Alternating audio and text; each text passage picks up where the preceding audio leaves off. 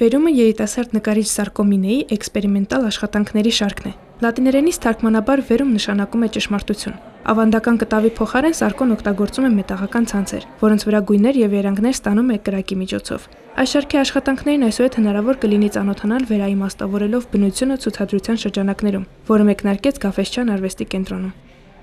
Երկրորդ աշխատանքս, որը ուղահայաց է կոչվում, իր մեջ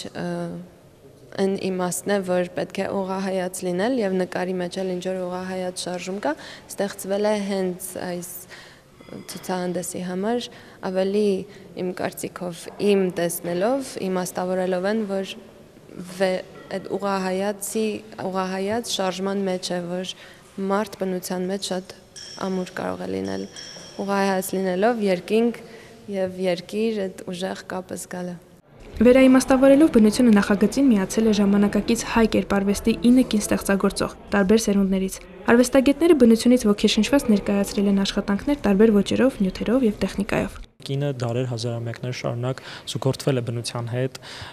շատ մշակույթներում եւ դիցաբանական որոշակի առասպելաբանություններում ներկայացվել է որպես բնության հիմնական սիմվոլ,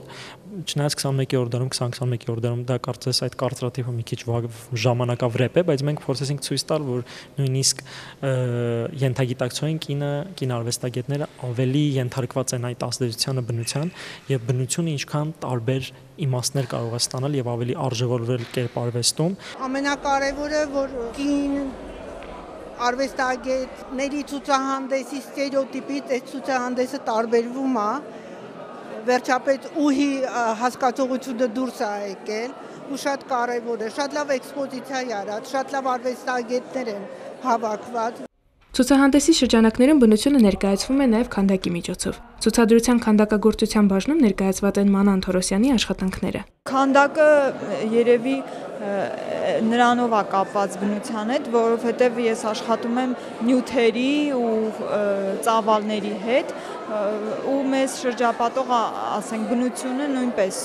ունի այդ նյութերը, ծավալները, այդ նյութերի փոխհարաբերությունը Ցուցադրությունը կգործի մինչև հոկտեմբերի 8-ը։ Մուտքն ազատ է։ Մանե Անանյան, Գևորգ Ավակյան, մշակութային ազդագիր։